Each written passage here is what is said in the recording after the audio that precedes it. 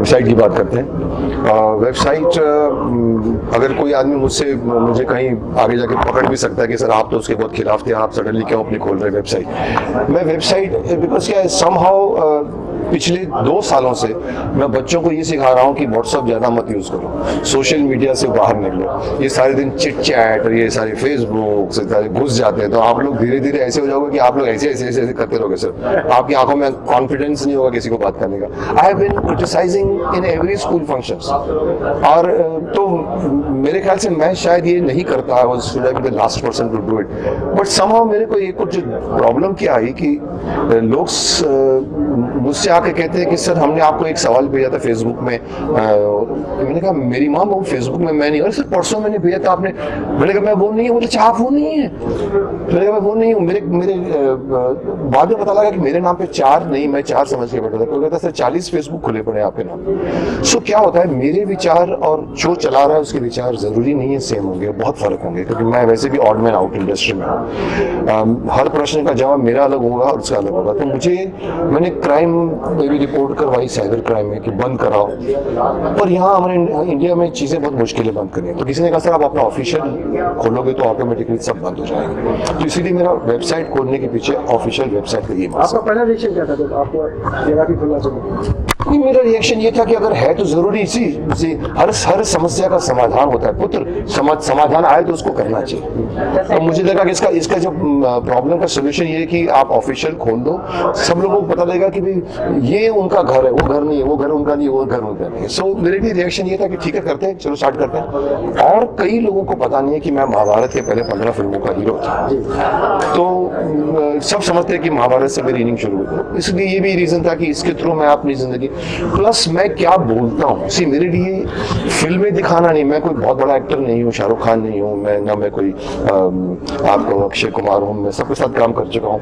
But मेरा मेरा और उनका वजूद में थोड़ा सा फ़र्क है। मैं बहुत बोलता हूँ। तो मतलब आप कोई सवाल करेंगे तो मैं आपको दस लाइन में जवाब दूँगा। कुछ एक्टर होते नहीं नहीं नहीं, जी सर ठीक है, सर, आपने कहा बहुत बड़ी मैं जवाब मैं ब्लंट टू बोल देता हूँ। मैं चाहता हूँ कि मैं जो जो कुछ हर फंक्शनों में बोलता हूँ, बच्चों के लिए सोसाइटी के लिए सेंसर बोर्ड के लिए, मैं बहुत ब्लंट हूँ कभी कभी मैं सोचता हूँ ने कहता सर, आप पंगा ले रहे हैं, गुटखा लॉबी के खिलाफ जा रहे हैं। मैंने कहा, क्यों नहीं जाऊँ? मेरे नाम पर बच्चों को गुटखा खिला तो वो सारे मेरे आर्टिकल्स भी इसमें रहेंगे मैं क्या सोचता हूँ, कैसे सोचता हूँ, क्या कंट्री सो इसका रीजन था वेबसाइट बाद में हम वैक्स की बात करते हैं। वैक्स भी एक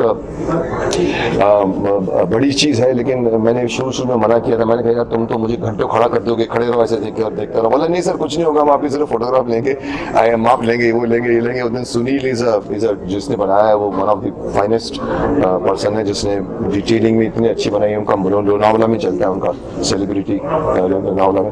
तो मुझे कन्विंस किया, मैंने कहा, चलो, शक्तिमान का बनाते मुकेश खन्ना का नहीं बनाते तो शक्तिमान हो सकता है मैं आगे चल के भीष्म पितामा का बनवाऊँ। फिर जाके थर्ड टाइम फिर मुकेश खन्ना का। लोग मुझको देख देख के बड़े हुए हैं और मैं बच्चों को देख देख के छोटा होता जा रहा फ़र्क इतना है कि मुझे फिर से शक्तिमान बनना पड़ रहा है। मैं कई एक साल से प्रॉमिस कर रहा हूँ कि मैं लेकर आऊँगा लेकर आऊँगा। क्योंकि अभी भी बच्चे मुझे गाँव में मिलते कहते किलविश कब मरेगा?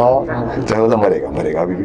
तो कहीं ना कहीं शायद ये रीजन है कि दूसरे जितने सुपर हीरोज आए हैं और शक्तिमान में ये फ़र्क है कि शक्तिमान कन्विक्शन से बना है। शक्तिमान हमारे इंडिया का पहला सुपर हीरो पहला सुपर हीरो कहलाने के लायक इसलिए नहीं है कि मैंने पहले बना दिया। पहला सुपर हीरो और सुपर हीरो इंडिया का कहलाने के लायक है कि इंडियन है टोटल आप रावण कहो कृष कहो, कहीं ना कहीं से वो चीज़ उन्होंने नहीं ला पाए ना उसके अंदर मिथ है। एक एक रेडियो एक गेम शो से एक कैरेक्टर बाहर निकलता है और वो वो अगर बीटी पे आके ट्रेन रोकता है तो कोई आदमी टर्न करता है तो बोलता कौन है? उसको मालूम नहीं बिकॉज़ वो कैरेक्टर अभी निकला और अगर शक्तिमान खड़ा होता तो बोलता शक्तिमान शक्तिमान शक्तिमान। सो आज भी शक्तिमान उतना ही मैं आज भी पिछले हफ़्ते से दो स्कूल फ़ंक्शन अटेंड कर चुका हूँ। इस महीने तीन पटना में मैंने अटेंड किए, आज भी शक्तिमान को चाहते हैं लोग। सो सुपर हीरो फिर से आना चाहिए। मेरी कोशिश है दूरदर्शन तो अलाउ कर रहा है। अ, मैं चाहता हूँ सैटेलाइट भी कोई आए जिसके साथ मैं सैटेलाइट में भी चलाऊँ तीसरी चीज़ चिल्ड्रन फ़िल्म सोसाइटी की हम बात करेंगे। चिल्ड्रन फ़िल्म सोसाइटी का मुझे चेयरपर्सन बना दिया है। मेरी ज़िम्मेदारी बच्चों के प्रति बढ़ गई है। फ़िल्में नहीं बनती हैं बच्चों की। मेरी ये सबसे बड़ी शिकायत है। मैं ये कहता हूँ कि बच्चों को पकड़ो तो माँ बाप फ्री आते हैं। हमारे यहाँ लोग बाहुबली में ढाई सौ करोड़ खर्च करते हैं, लेकिन दस करोड़ बच्चों की फ़िल्म में नहीं खर्च करते। कारण बच्चों की फ़िल्मों को उनको लगता है कि चलेगी नहीं, चलती नहीं पैसा लोग सब कमर्शियल है। मैं ये कहना चाहता हूँ, शक्तिमान मैंने चलाई है। और मैंने नटवरलाल देखी थी एक फ़िल्म आई थी अगर आपको याद होगा जिसमें एक गाने के लिए जिसमें आओ बच्चों तुम्हें शेर की कहानी सुनाता हूँ उसमें मेरे एक। मेरे पास दो। उसमें मैंने देखा था गंगा थिएटर था उस जमाने में दस बच्चों के बीच में एक माँ बाप होते थे पकड़ के देखे गंगा में घुस रहे होते थे। जब एक गाना आपको ला सकता है थिएटर में तो फिर एक चिल्ड्रन फ़िल्म अच्छी क्यों नहीं बना सकते आप? और उपदेश मत दीजिए उसको कमर्शियल मैंने यहाँ पर आके चिल्ड्रन फ़िल्म सोसाइटी में 250 फ़िल्में हैं मेरे पास। लेकिन 250 फ़िल्मों में से सभी फ़िल्में शेल्फ पर पड़ी है या तो वो फेस्टिवलों के राउंड मारती है या स्कूलों में जाती है स्कूल वाले देखते हैं प्रिंसिपल। मैंने आके चेंज किया मैंने कहा मैं अब वही एक्सेप्ट करूँगा जिसके अंदर थिएटर में जाने की ताकत होगी।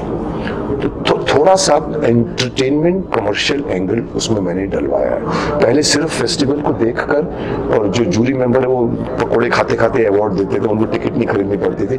तो चिल्ड्रन फ़िल्म सोसाइटी के आज मैंने इस साल, मेरे को आज दूसरा साल हो गया है, आठ फ़िल्में मैंने स्टार्ट करवाई हैं, जिसमें छः जितनी मैंने, अभी तक मैंने तीस चालीस ओके करके रखी है। उसमें से छः फ़िल्में तो स्पोर्ट्स पर है।